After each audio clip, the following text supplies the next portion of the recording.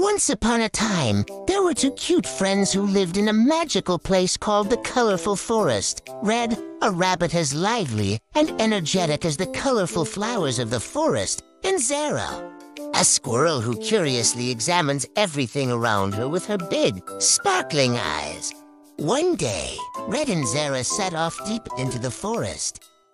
As they continued on their way, they noticed a sad cricket under a tree. Cricket looked like it was stuck in a leaf because of its thick spine stuck on its pure white wings. Zara said, Oh, come on, Red.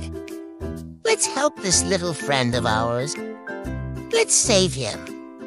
Said, Yes, Zara.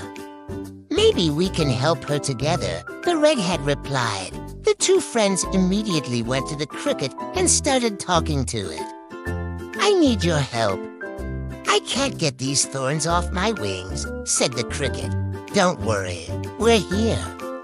We'll help right away, Zara said reassuringly. Working together, Red and Zara gently removed the spines from the cricket's wings. The cricket smiled gratefully. Thank you very much, dear friends. You are true friends, he said, happy to have saved the cricket. The three friends continued to wander through the forest.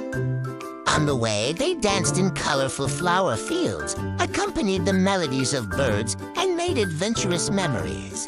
The redhead said, Today has really been a great day, hasn't it, Zara?